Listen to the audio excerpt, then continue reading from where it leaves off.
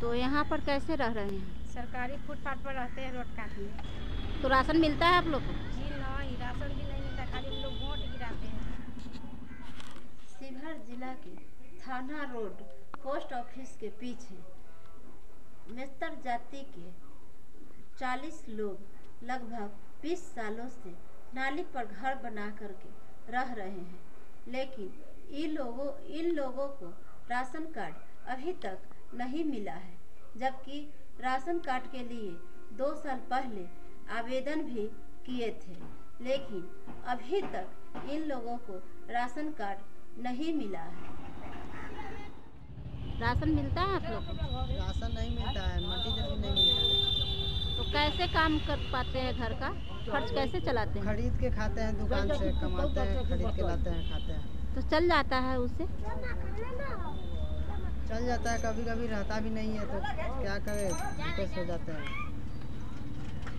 इसी तरह तो गुजारा करना पड़ेगा। समस्या ये है सम का नाम हर चीज़ में है न राशन कार्ड दे रहा है न राशन दे रहा है। इसके लिए आप कहीं कुछ किए हैं? हाँ करे नगर पंचायत में। कब?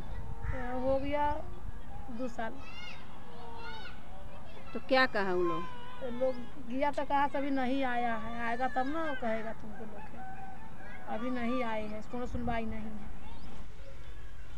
और मैं चाहती हूँ कि इन लोगों का अपना हक और अधिकार मिले। इसलिए मैं इन लोग के साथ नगर परिषद ऑफ़िस में आवेदन देने जा रही हूँ।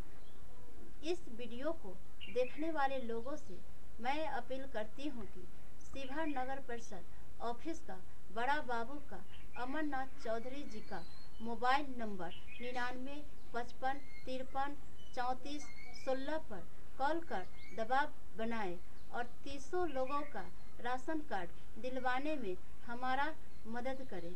मैं रीता, जिला शिवहर बिहार से, इंडिया, अनहट के लिए।